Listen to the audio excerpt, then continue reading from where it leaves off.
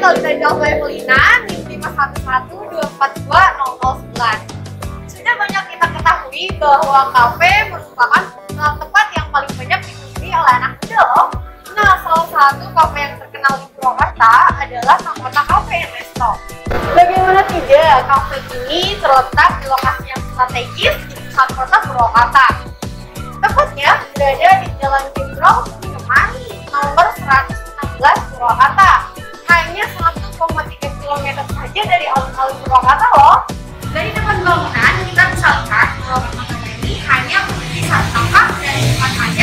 tradisi utama.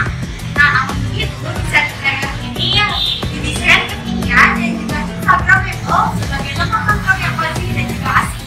Nah, lalu seperti apa sih desain interior di? Kalian penasaran? Kita masuk.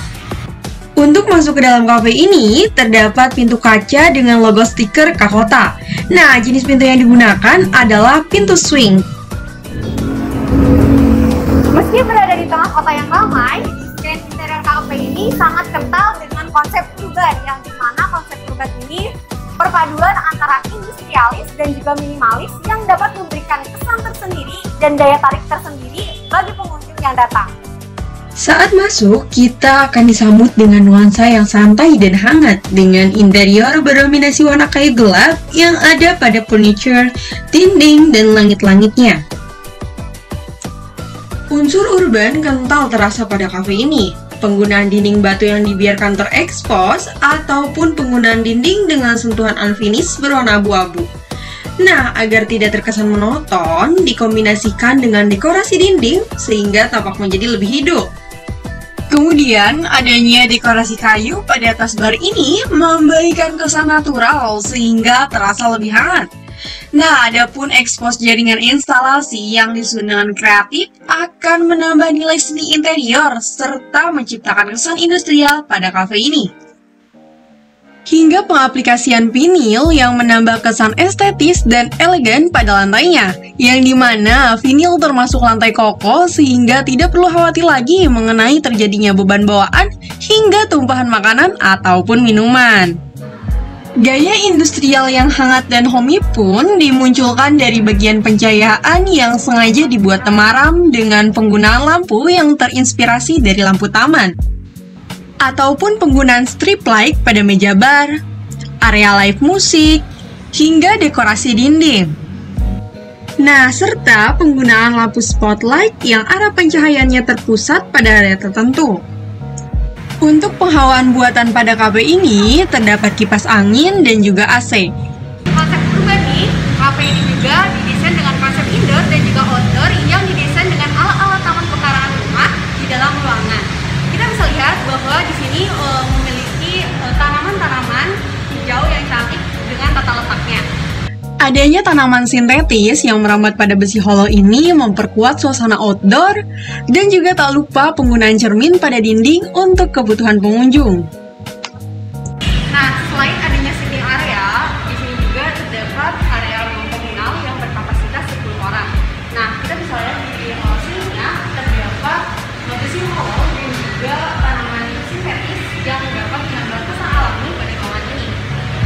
Kemudian terdapat area live musik dengan logo Kakota serta panel kayu vertikal.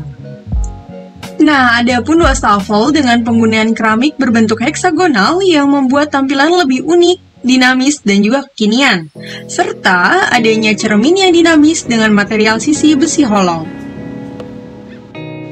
Pada area bar terdapat mesin espresso dan juga beragam cangkir espresso unik yang dipajang di rak.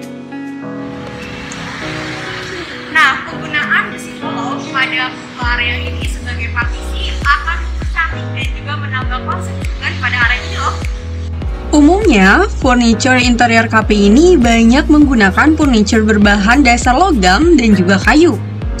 Nah, elemen logam biasanya hadir dengan warna-warna hitam yang dapat memperlihatkan kesan tegas pada desain industrial ini. Seperti penggunaan kursi besi bulat pada area ini yang berbahan dasar rangka besi yang kuat dan pastinya anti karat. Terdapat meja berbahan dasar kayu dengan bagian kakinya menggunakan besi. Ada dua jenis kursi pada area ini. Pertama, kursi ropan, yaitu kursi yang berbahan dasar kayu sehingga memiliki kesan yang klasik, alami, dan minimalis. Dengan sandarannya didesain khusus dengan kemiringan yang cocok untuk menjaga tetap santai sepanjang menikmati hidangan. Adapun kursi yang berbentuk sofa menggunakan kain pembungkus sofa berbahan kain Oscar mirip dengan kulit. Nah, tentunya memiliki kelebihan mudah dibersihkan jika terkena tumpahan air ataupun kotoran lainnya. Nah, itu dia review Kakota Cafe and Resto yang berada di Purwakarta, Jawa Barat. Gimana nih teman-teman? Tertarik untuk mengunjunginya?